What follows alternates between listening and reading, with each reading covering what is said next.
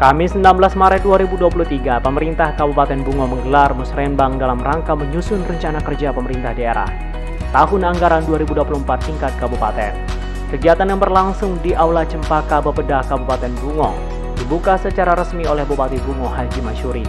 Tampak hadir dalam musrenbang tingkat kabupaten tersebut di antaranya Wakil Ketua 1 DPRD Bungo Jumiwan Aguza, unsur Forkompimda, staf ahli bupati,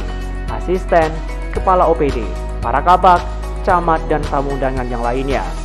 Pelaksanaan musrenbang KKPD tahun 2024 diawali dengan laporan penyelenggaraan yang disampaikan oleh Kepala Bapeda Kabupaten Bungo Haji Dedi Rawan.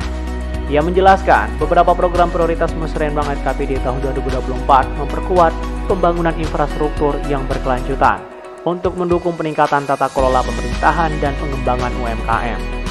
Sementara, dalam sambutan Bupati Bungo Haji Masyuri menyampaikan capaian kerja yang selama ini telah diraih oleh Pemkab Bungo,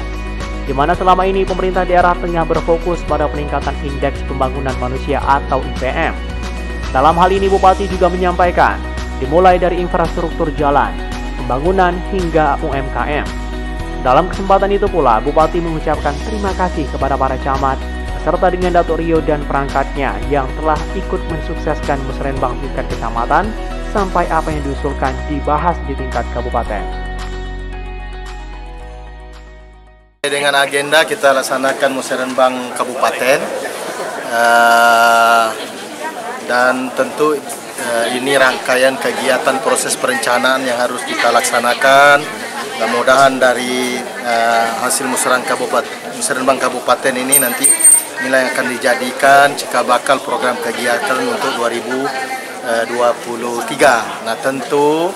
eh, kita tahu banyak sekali usulan yang dilakukan oleh masyarakat melalui musrenbang desa atau dusun, musrenbang kecamatan dan juga pokok-pokok pikiran dari DPR melalui DPR masyarakat menyampaikan aspirasinya di sini kita rangkum dan nanti kita sesuaikan dengan dokumen perencanaan rencana pembangunan jangka menengah Eh, daerah dan nanti uh, tentu ada prioritas-prioritas yang kita laksanakan untuk tahun anggaran 2024 yang akan datang.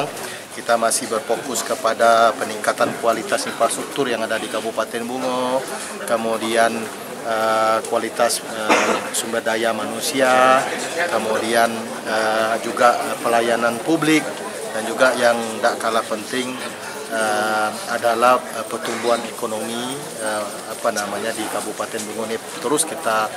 dorong dan kita jaga sehingga memang uh, ekonomi bisa mengeliat, masyarakat kita bisa beraktivitas, bisa berusaha. Nah ini harus kita jaga dan semua itu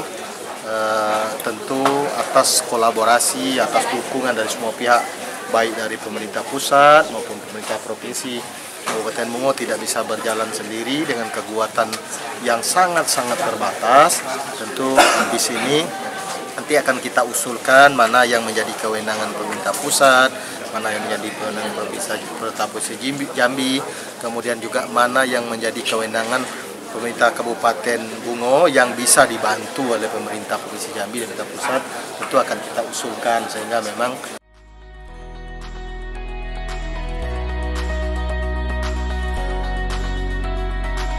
Muara Bungo Taufik Iskandar Bungo TV